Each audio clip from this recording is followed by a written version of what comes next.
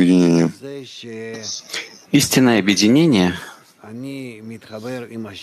— это когда я объединяюсь с другими в своих внутренних килим, как написано «единый человек с единым сердцем», что хотя мы и не способны на это, и никогда не будем способны, потому что разбиение уже было, но мы объединяемся в высшее объединение, так, что именно с помощью того самого отдаления, противоположности, ненависти, которая раскрылась между нами с помощью разбиения Адам Решона, мы именно сближаемся между собой и поднимаемся выше разбиения и превращаем разбиение в объединение. Это называется, что тьма будет светить как свет. Итак, мы приходим к концу исправления, что в конечном счете та самая неисправность, которую сотворил Творец, написано «Я сотворил злое начало», так то самое злое начало мы не стираем, не разрушаем, а превращаем его в добро. Это называется, что я делаю на него сокращение экрана и отраженный свет. И именно с его помощью я постигаю уровень Творца, потому что без него я был бы просто как святое животное, как Адам решен, который действовал на своем уровне минимальном в отдаче, жил среди животных, все было хорошо, как животные. Не был Адам, подобный Творцу.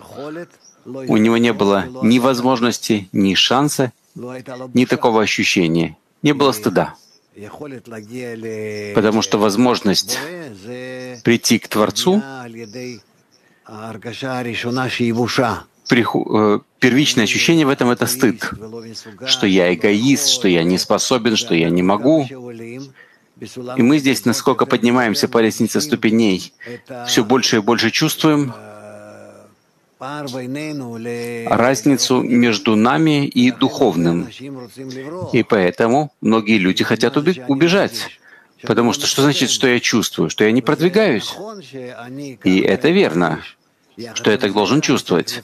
Но вместе с тем я должен развивать в себе иные ощущения, что иные понятия, что да, я обязан прийти к объединению,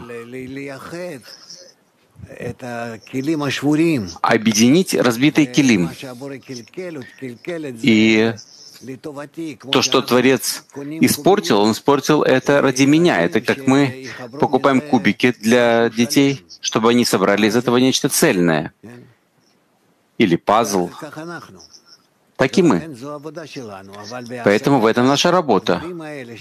Но в постижении этих вещей, что мы в состоянии, что не в состоянии, пока мы не начинаем постигать мудрость, как соединить кубик с кубиком или частичку пазла с другими частичками пазла. Это занимает много времени.